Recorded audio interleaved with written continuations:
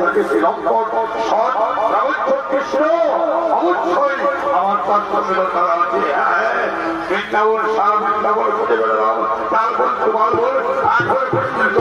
বলো ঠিক আছে? এবার দেখি, ওই যমুনার তীরে গিয়ে দেখি সেই কৃষ্ণকে খুঁজ পাই